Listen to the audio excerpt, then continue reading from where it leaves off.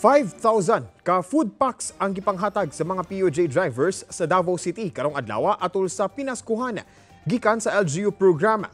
Ugma mga taxi drivers na sab ang nakatakdang hatagan og pahalipay. Si Regine Lanuza sa report.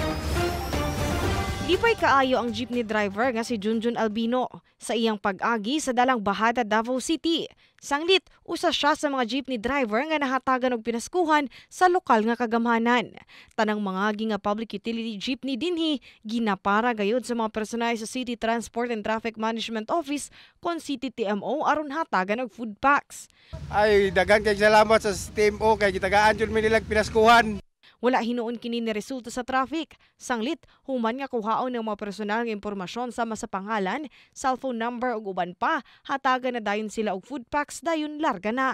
Pati ang driver nga si Allen Galang nakadawat sab. Busa dako ang iyang pasalamat sa gihatag kaniya. Sanglit dugang na kini sa pangkonsumo sa iyang pamilya. Ah, dako kay tabang pod kay para napoy madungog sa Chubena para sa New Year.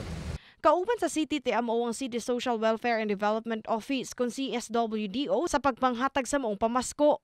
Sumala ni CSWDO Admin Staff Officer sa High Priority Bus System Division nga si Mapril Rosiana dungan sa ilang paghatag og pinaskuhan ilasab nga ginaawhag ang mga driver nga mag-apply sa HPBS Social Development Program packages. Kinisubay na sab sa programa sa lokal nga nga HPBS. Nag-andam ang CSWDO og 5,000 food packs nga ilang ipanghatag sa PUJ drivers. Gawas sa bahada, doon sab sila'y personahe nga nang hatag sa Puan, Ecoland, buhangin og uban pang parte sa syudad.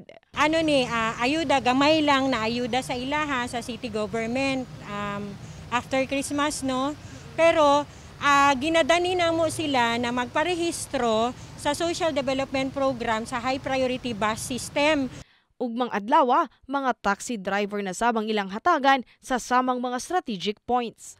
Regine Lanuza, para sa Bayan.